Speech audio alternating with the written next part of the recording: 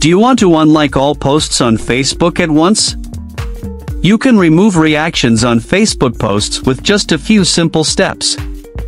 Hello everyone, welcome back to our new video. In this short video tutorial, I will show you how to unlike all posts on Facebook at once. Just watch this video till the end, and do not forget to like this video and subscribe to this channel for more tutorials and tips video. Unlike all liked Facebook posts at once is the act of removing reactions or likes from every post you've interacted with on the Facebook platform.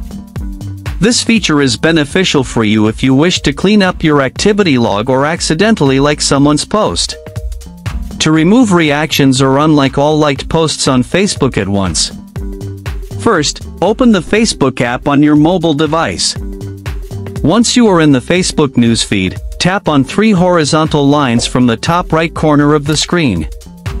If you are using iPhone it is in the bottom right corner of the screen. Scroll down and tap on Settings and Privacy. From the expanded menu, tap on Settings. Scroll down to the Your Activities section and tap on Activity Log. Here you will see various activities, to remove reactions or to unlike liked Facebook posts tap on your Facebook activity, then select Comments and Reactions from the expanded menu. Again, from the expanded menu, tap on Likes and Reactions. You'll see a list of all the posts, photos, and videos you've liked and reacted to on Facebook. Scroll through the list to review your liked posts. Decide if you want to unlike all posts or just specific ones. To unlike all liked posts, scroll to the end of the list or to the date range you prefer. Then, return to the top and tap the checkbox to select all posts within that range. Once you've selected the posts, tap on the Remove button at the bottom of the screen. A confirmation pop-up will appear.